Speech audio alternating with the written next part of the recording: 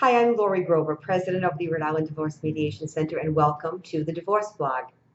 Today, I want to talk about something that a lot of newly separated or divorced parents dread, and that is the holidays and sharing time with their children and their other parent.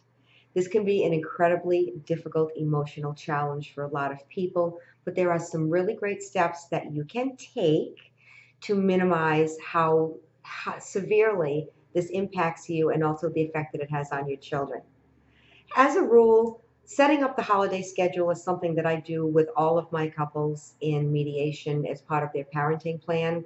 And the reason I do this is because it really does eliminate a lot of that last minute planning and also the hard feelings and the emotions that can get in the middle of making good decisions. So I'm going to share with you some of the things that I present to my couples to think about when they're creating their holiday schedule.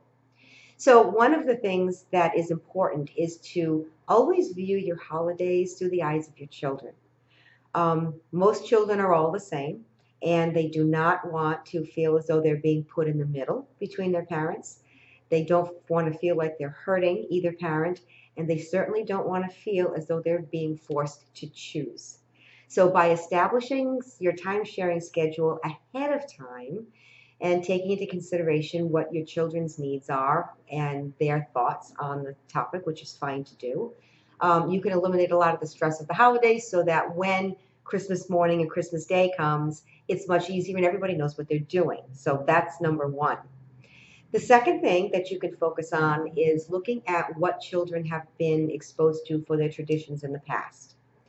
Transitions for children going through a separation or divorce of their parents need to be gentle, and there are ways you can achieve this. So take a look and uh, reflect on what the children's holidays have been like over the past years, and try to mimic that as close as possible while still incorporating some of the changes that are inevitable because now there are uh, potentially more homes to, to go and visit, and they'll be spending time with separate their parents separately. The other thing to remember is it's important to keep children connected with their extended family. So this means grandparents, cousins, aunts, uncles on both sides of the family. Neither side of a child's family is any more or less important, and children should not be made to feel as though spending time with that family is something that they should be ashamed of, be guarded about, or feel guilty about. How you set the tone for your children is going to determine 99% of how they handle the holidays and how well they transition. Children who see their parents adapt well, make plans together, and perceive this as something to be um, excited about, that they're going to be spending time with their family, that's how your children are going to perceive it. When children see it as stressful, when they perceive it as a problem, that is going to be the imprint that they're going to take and stamp on holidays going forward. So it's very important for you as parents to be mindful of what you're showing your children. And this is another reason why I work out the holidays in advance with my, my clients and my couples who are parents, because this can be a really emotional, problematic thing to, to address if you're waiting until the last minute. So clarity is really the key and setting a really good tone for your children about what their new holidays are going to look like.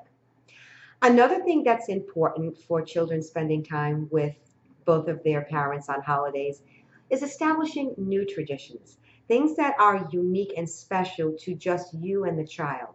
So just mom and the child or children have this new thing that you do every year. And just you, dad, and the children have something new that you do every year.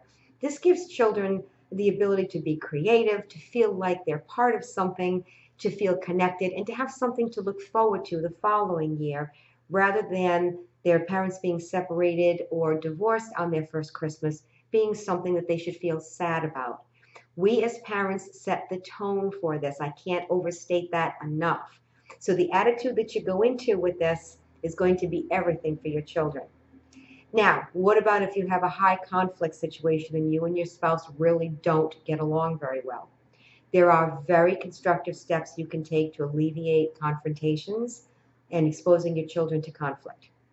One of them is planning ahead. The other one is invoking the help of friends or family. I think people don't realize that you don't have to go it alone if you have a high conflict situation, and it's okay to ask for help.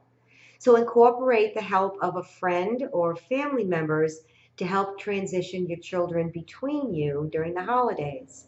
This will avoid face to face confrontations if necessary, and you can send your children to spend time with their other parent, expressing joy and excitement for them without your feelings getting involved. And whether or not you do this depends on the level of conflict there exists between you.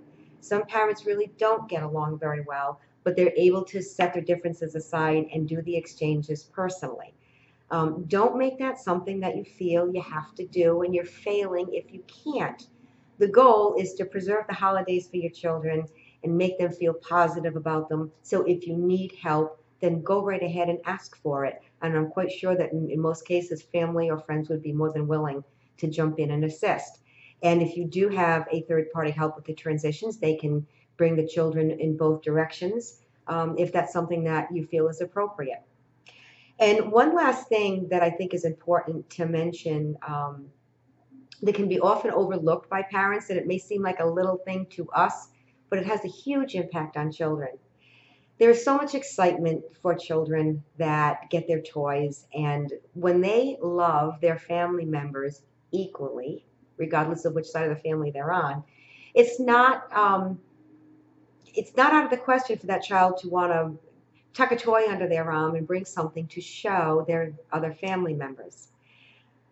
We as parents should try to prevent discouraging that or offering an opinion, our opinions about what should happen with the children doing that. That can present a challenge for children emotionally, and it really sends a signal that this is something bad that they wanted to do.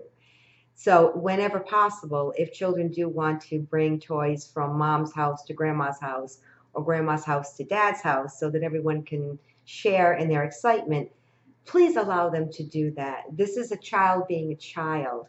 And one of the things that we have to do um, as parents, divorced parents, is discipline ourselves enough to remember that we have to be mindful of what our children are perceiving. They're not perceiving things the same way that we are.